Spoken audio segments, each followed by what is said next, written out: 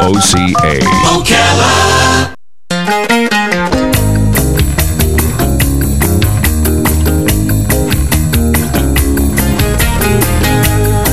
Right, 10 minutes before 11 o'clock. Every day there's something new in the world. This morning I was reading this article about a self making bed. Now, this is perfect for me, Robin. Oh, okay. I don't make my bed. So, Oh, I mean, if, so if I got this robotic device, Yeah. I don't know exactly how it works. I, I didn't see a picture of it, but can you, can you imagine this? You get you get out of bed and like I don't know, the thing just makes itself. That's that's creepy. I- oh, can you imagine if it did it while you were sleeping, right? Yeah, I wonder if it has a timer on it, and if you decide to sleep in, you're done. You're Yeah, you're you're all wrapped up. You're all wrapped up. Everything is everything is automated now, right? Yeah. This what Pittsburgh, Tempe, Arizona, and San Francisco all have Uber self-driving cars. Just drive. Oh my gosh, I haven't been in a self-driving car. I'm still old-fashioned. I want to go buy a car. The old-fashioned. There's going to be an app for bu- for buying a car. It's gonna it's gonna pick out your car for you. exactly. How tall are you? What sex are you? That's right. You know what? What is your hobbies? Okay, you get a Toyota. Right? Exactly. Uh, I like it the old-fashioned way. Peter Levy is on the phone. He's a pioneer in the consumer automotive automotive information space. He's a founder of IntelliChoice. Oh, don't tell me this is an automatic car picking out thing. He's the creator and CEO of the car buying site called Car Jojo. Well, I'm okay with sites. New tips and tricks to help better negotiate that new car buy. Good morning, Peter Levy. Good morning, sir. How are you? Good morning, Larry. I'm fine. Nice to be here. Uh, thank you. So last time I bought a car, it was I had to buy a car because I hit a cow. So my other so my other car was dead. No, I am not joking. That's really what happened. And, I, and I'm a big guy, and I bought a small car. And and you know the car dealer said, "Yeah, this isn't going to work out for you too well." And a month later, I got a bigger car. So he was right. I should have listened to him. Mm-hmm. Right? I'm not. I don't know if I'm any good at this whole this whole idea. what, Well- what kind of tips do you have? You'd have a lot of company if you don't think you're very good at this because most people don't think they're very good at it. Oh, really? 87% to be exact of Americans hate buying a car. Oh man. And, and think about it. Uh, you know, it, it's the only expensive good in the country that's negotiated. Everybody pays a different price for the same thing. So half of those people are going to pay more than the other half. And there's a big imbalance, and that's the problem. You you walk into a car dealership and you don't know um, the information about the car. You don't know about the market. You don't know really about how to negotiate, and the dealer knows all of that. So it's a pretty tough uh, situation for for 87% of all Americans. Wow. So do you have more leverage uh, regarding getting a good price if you walk in with the cash? If you have the money up front instead of having to uh, to finance it?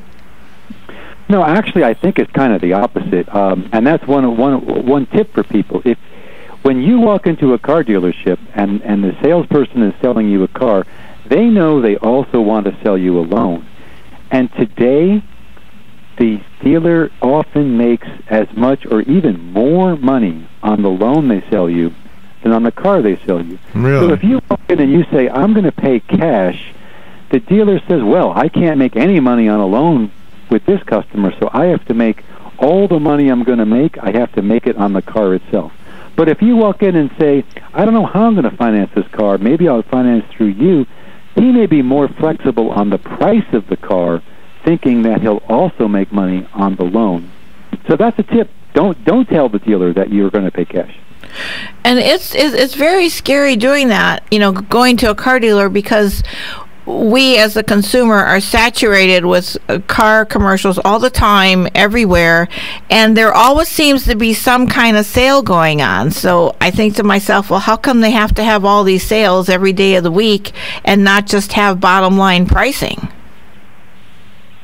Well, there's two questions there, Robin. That's a good question. First of all, the real, why are there balloons? Why is it always festive, always sale signs? Because the dealer wants to get you out of your routine. If you're in your routine, you're going to be very protective of your money. But if it's a special occasion, you know, that's a time to spend more. So that's why it's always festive and, and, and everything else at a, at a car dealership.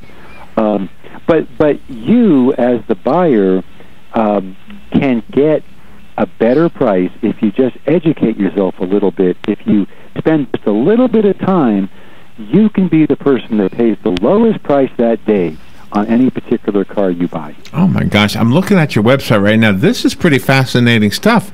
I already picked out a Buick. I, you have a Buick. I know, I like my Buick, but I could, I, I could use a new one. And and so this is going to help me save money. Oh, absolutely. Um, Car Jojo will help you in two ways. You will, if you want to go into the dealership yourself and do it all yourself, we've got a wealth of free information that's not just generic like do this, do that, but very specific to this one car on this one dealer's lot. What price should you pay for that one car and why? And you can use that to negotiate that price for yourself. Or if you're the other kind of buyer and you don't want to deal with that, you just have us do it for you. It costs $199, and we do all of the work, and we get you, we guarantee you the price that you see on the site um, and all you have to do is go literally write the check and drive home. How do we avoid impulse buying? and we take our time going from dealer I just to impulse dealer. bought right now. I'm, Oh. I'm, I'm doing it right now. Well, that's a really good point. One of the things I tell anybody is have a bottom line, have a price, and you know if I don't get this price, I am going to not buy this car from that dealer. Have that discipline. If you don't have that discipline, you'll probably end up paying too much. But it's easy to have that discipline. It just takes the willpower to say, I figured it out. I know this car, twenty-seven thousand five hundred. If I can, if I have to pay more, I'm going to leave, and you'll end up doing much better for yourself. Oh my goodness. Okay, I you got to go to this website. It, this is fun, but I, I'm I'm having a hard time confirming who I am. oh, I have to put my phone number in. there. That's why I see. Is somebody going to call me? No, at Car Jojo, no one's going to call you, and that's one of the key differences. Uh, if you go to one of these sites that promise transparency, they'll ask you for your email and your phone number, and then you'll be mercilessly spammed. Um, Car Jojo doesn't do that. Uh, we we only work for you. We don't work for the car dealership. Whether or not you use Car Jojo, my advice to people is if you go to a site and they ask you for your email or your phone number, and they don't say, we won't share this with third parties, don't put in your email, don't go to that site because you'll be spammed like crazy. Okay, so if I were to buy, I think I'm reading this right. If I were to buy a 2017 Buick Encore Premium, the manufacturer suggested retail price $32,880. You can save me $1,455 by using Go Mo, uh, Jojo, Car Jojo, right? Well, I'm not seeing what you're seeing, but if you're on Car Jojo, yes. Wow. and that is we we measure our results and our results are almost 100% of the time better than any other third party site that claims to help you so we can save you more and eliminate all your stress so it's really a win-win Can you get used cars on here or just new cars? unfortunately it's not for used cars and Okay. used cars are a good deal but not what we don't we can't help you with those Okay. Oh yeah, because new cars you can guarantee more than a used car. We can guarantee you the price on a new car. We guarantee you the price you see in Car Jojo is the price that you'll pay. And the price that you see is, is going to be a great price.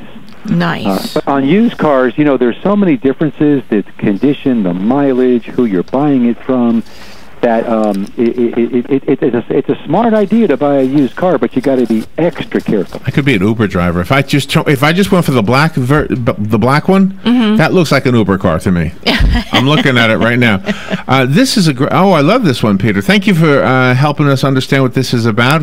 Uh, for the listeners, the website I went to is Car Jojo J O J O CarJojo.com. You'll see what I'm talking about. I want to share this with our car guy. He comes on on Tuesdays. uh, Peter Levy, thank you for being on the air with us today. It's my pleasure. Thank you. That was fun. We'll take a little break. We'll be right back.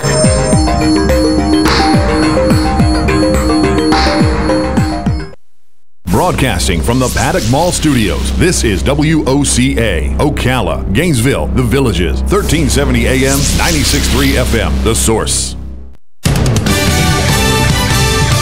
Fox News Radio, I'm Lillian Wu. A first public hearing on Russian interference now underway before the Senate Intelligence Committee. We're going to get to the bottom of this and do it right. Democratic Senator Mark Warner from Virginia promising to work together with Republicans. They are beginning with leading national experts on cybersecurity, also on Russia, as a way to set the table, lay a foundation for future discussions. Fox's Catherine Herridge. Lawmakers in North Carolina confirming they've reached a deal over the use of public bathrooms by transgender people. They have to get enough votes in the House and Senate so the replacement for last year's law, known as House Bill 2, can reach the governor's desk. Speaker of the North Carolina House, Tim Moore, says the bill will first go to the state Senate. Social conservatives in the state's General Assembly wanted the previous law to stay on the books. Fox Radio's Tanya J. Powers. Fox News. We report, you decide.